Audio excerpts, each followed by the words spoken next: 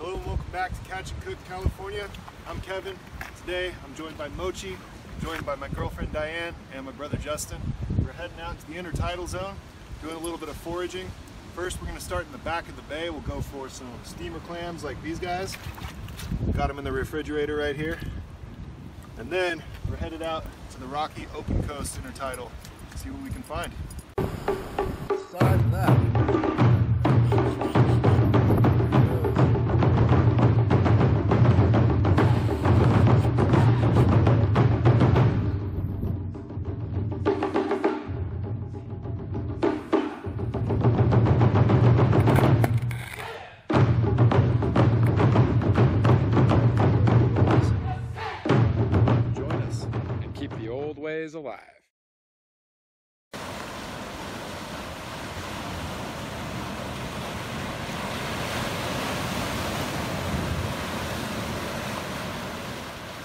Today's adventure begins in the calm waters of the back of a bay and marks the end of the bivalve shellfish quarantine for the majority of the state of California. Go.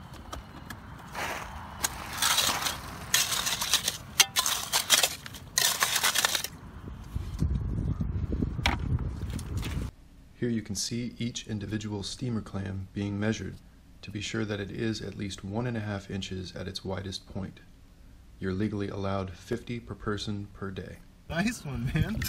Got a good spot there.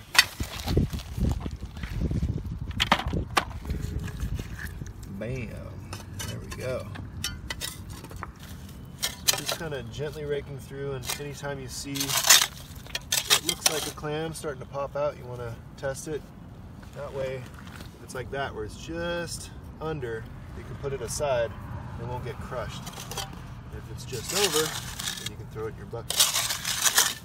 There's another one. So you got to really be looking for that detail. That One's under two. So we'll leave those to the side so we can rebury them and it will stay sustainable.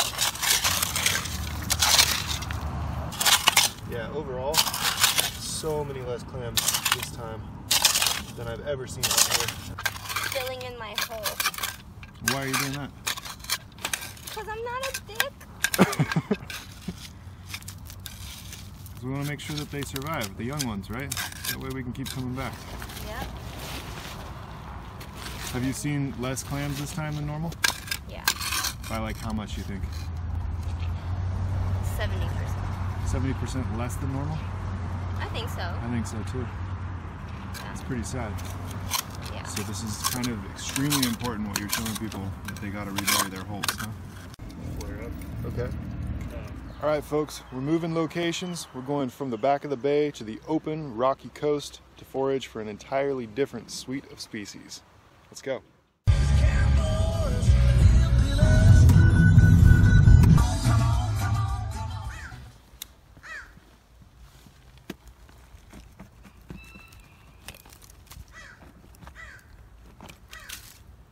That is so awesome. Yes, let's go. That's a lion's mane, baby. Edible, incredible. Let's go.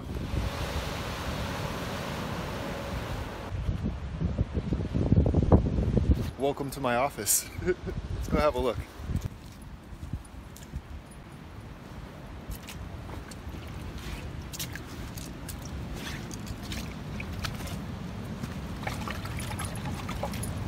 It's pretty cool. California red abalone shell. So this is an anemone. You can see how it reacts when I poke it. These guys, they, they open up like a flower in the water, and then if there's any kind of crab walking by, they'll grab a hold of it and just bring it in, and then they digest it inside here. So, yeah, they're pretty cool. Very, very pretty. Um, I'll show you what they look like underwater here in a second. But yeah, at this time they kind of close up to protect themselves. That anemone looks like that when it's all open. Super pretty.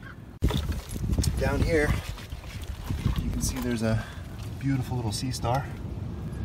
Always nice to see. We need more of those. Sea stars are what keep our urchin population at bay, especially the giant sun stars, which we're not really finding these days. They used to be all over the place. You can see that little bit of purple down in there. That's a sea urchin. Just a baby. Keep looking. Another abalone, another sea star, another abalone, another anemone. So my brother just got a, a huge haul. Check this out. purple urchins and um, mussels. Took like two minutes. when the tide is low, there's lots to be had. Anyway, that bit of blue right there, that is a dive weight. I'm gonna grab that. So, this is actually one of the strongest adhesives in nature that, that the mussel uses to fuse itself to the rock. We call these little tassels the beard. We'll want to get rid of the beard before we eat it, but right now it's in its perfect little package with the perfect amount of sea brine, and it's going in the bucket. Alright, grab what we can. Legally in California, you have to use your hands. You can't use any tools to get these things loose. So people will sometimes see us doing this and they're like, oh, you should use a screwdriver or a crowbar. We're not allowed to do that. So just use our hands and you can see it's not very difficult. They're super tasty. And uh, every year when we do this, when I start planning a, an event around a low tide, I will call ahead of time, make sure that the biotoxin information hotline says that the county I'm in is good to go. Right now, it's safe to harvest these in the county where we are, but up in uh, Humboldt right now and Del Norte, I think it's still in quarantine. So I always call a couple weeks ahead of time, a couple days ahead of time, and then I call the morning of. That way I make sure that if there's any last minute closures, that we're not getting potentially poisonous shellfish because those biotoxins, they don't get destroyed if you cook them. So you want to be sure ahead of time, otherwise you can eat mussels, think you're getting something delicious, and it kills you or causes amnesia or paralysis. I think your very, very best scenario would be you would poop your brains out, and if your best scenario is you pooping your brains out, that sounds like a really bad decision. so that's a limpet. Nice little mollusk, very, very tasty. Throw that in there. We're allowed 35 a day.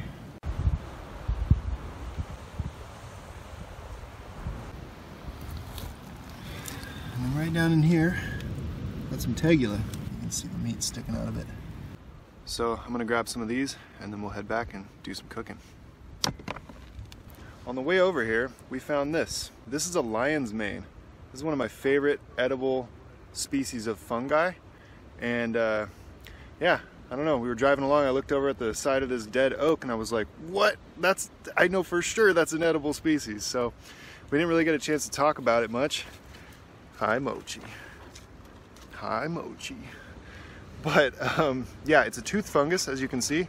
Got a very interesting uh, texture, very interesting character, but um, it is very easy to identify. It loves, hi puppy, it loves growing on uh, old oaks and things like that. And uh, today we're gonna saute up a little bit of it and then we'll cook it with our seafood. So my brother's making a bow drill kit from some driftwood right now. He's gonna carve it down and we're gonna try and rub sticks together, cook our shellfish the old way on an open fire.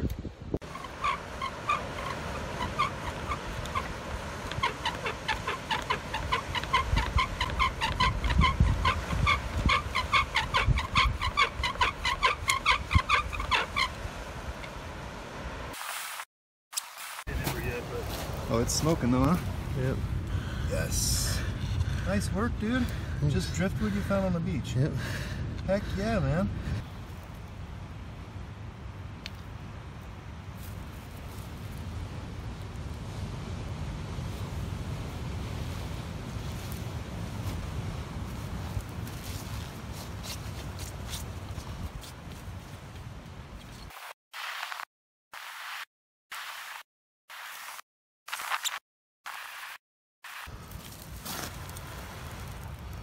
Boom. Nicely done, bro. Nicely done.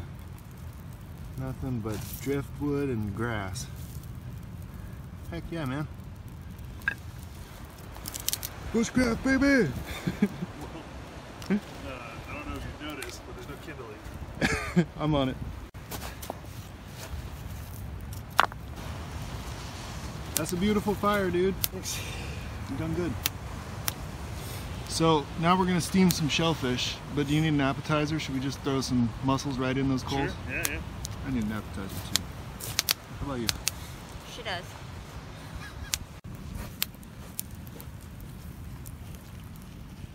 All right, let's go check on the refrigerator. There we go. You see our, oh, that's super cool. This little guy right there in the center is starting to bury itself under the sand again. And you can see these little guys. They're tiny hermit crabs and they're starting to try to eat the one that we cracked when we were digging. But yeah, you can see these guys are kind of trying to avoid predation here in the intertidal where they're not supposed to be.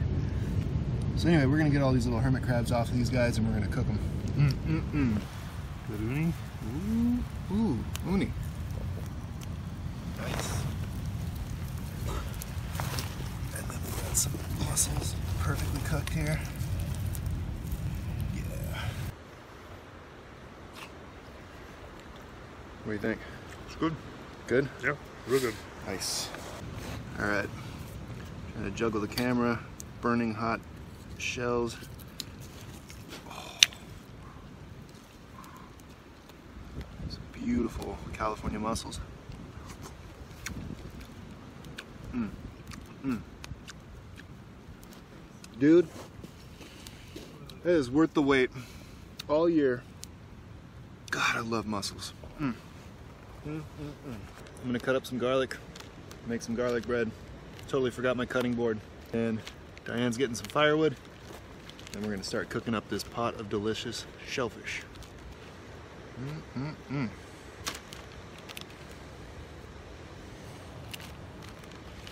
We're gonna give some of this uni a taste test. Can see that. Good color, nice and yellow, healthy. Diane says it's very sweet. That's good. Get this little spine out of there. Get a good chunk of it.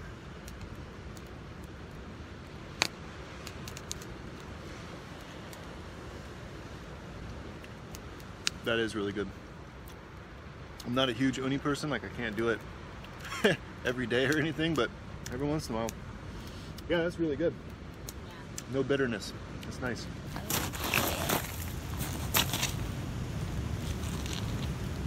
It's super sweet. That's really good. That's the best purple urchin I've had. Yeah, that's the best uni I've had in a long time. Ooh, maybe we gotta do another uni episode, huh? In the meantime, garlic bread. This right here. Yeah, once this gets down to coals, um, put the shellfish on. I guess I should start preparing that. Got oh, like a half an hour before sunset, which means about an hour of light left. So I'm gonna hope that we can have this cooked in about 15, 20 minutes. Still have enough light to do a nice taste test and hike back on out of here. Yeah. Ooh, salty. Is there a little seawater in there? No. Yeah. Was it good uni though? Yeah, it was like salty and sweet. You know the thing that kind of creeps me out though? The guts inside? No. Huh. The fact that these little thingies are still moving. Oh yeah. well, that's because it's certified fresh. oh yes. Here, no, you go for it, baby. no, there's more for me. What?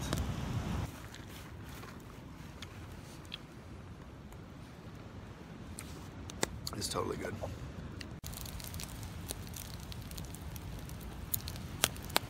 All right, so I threw a little bit of the lion's mane in here. A little bit of butter, just some herbs, rosemary, thyme, sage, a couple pieces of onion, nothing fancy. You know what? We don't need to be fancy.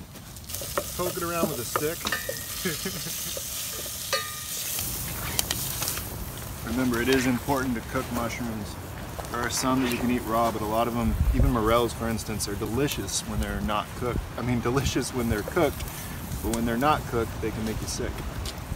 So, definitely cooking the lion's mane. All right, you guys want to try this? What is it? Lion's mane? Mm, it's good. Is Really good? Yeah, it's real good.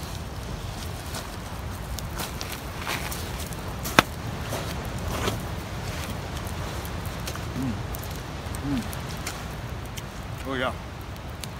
That's got totally good texture. Nice flavor. Could use a little salt. I didn't salt it. Got some onion, some herbs, bay leaves.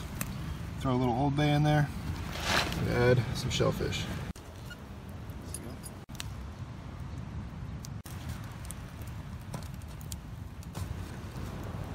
And Boom. How's it look? Clams are open, mussels are open, herbs look great. Let's do it. Then we got some garlic bread.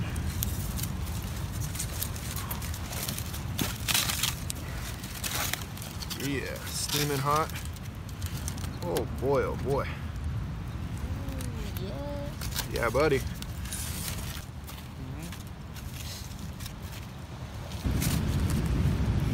Coastal foraging, baby. um, yeah, I'm gonna grab some garlic bread and dig in there. And uh, I'm going. I'm gonna go for one of those clams.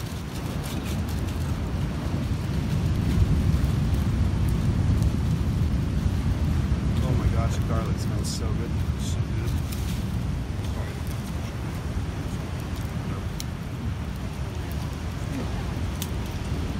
So sweet, so good.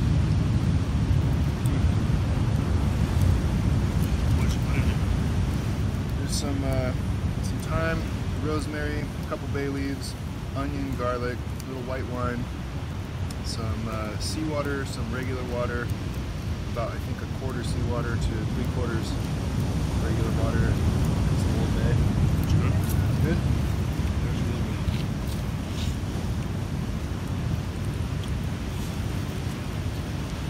Oh yeah. Glad we did the garlic bread.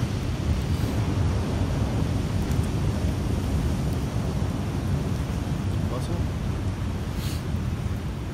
Yeah. Garlic bread's good. I'm glad we did this.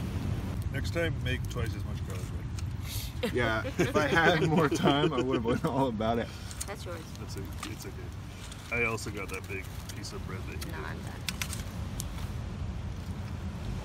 We happy? Very good, man. Good.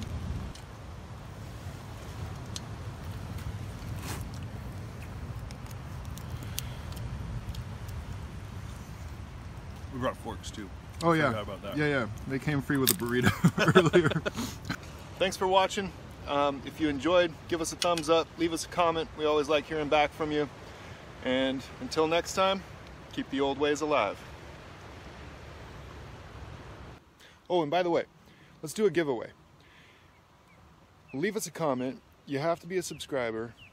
I'm going to leave this up for five days, so you have five days to enter. If you want to come out and forage with me, leave a comment, let me know why, and I will choose one individual from all of those comments. Maybe we'll even do a video. Uh, you're gonna have to do that again, it was all crotch.